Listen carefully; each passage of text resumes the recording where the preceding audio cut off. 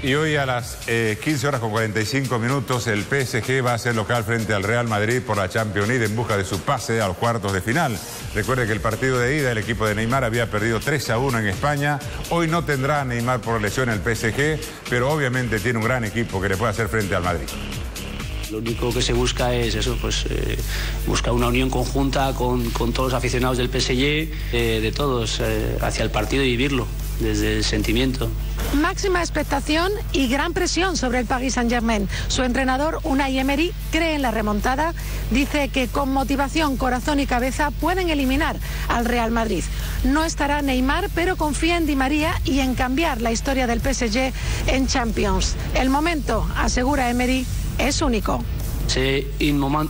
Es un momento único para todos los aficionados del PSG y creo que para toda Francia. Yo espero la mejor versión del Real Madrid y a los mejores jugadores del Madrid, pero sé que nuestro equipo es capaz de ganar a sus mejores jugadores. Entre fuertes medidas de seguridad, convertido su hotel de concentración prácticamente en un búnker situado en el centro de París, ha llegado el Real Madrid con toda la plantilla a disposición del técnico Zinedine Zidane, incluidos Tony Cross y Luka Modric, que ayer entrenaron al mismo ritmo que sus compañeros. Decisión para el técnico francés, entre ellos que apenas tienen un entrenamiento, a optar por un centro del campo reforzado con Lucas Vázquez, Mateo Kovacic y Marco Asensio junto a Casemiro. Decisión que tomará esta tarde después del entrenamiento en el Parque de los Príncipes.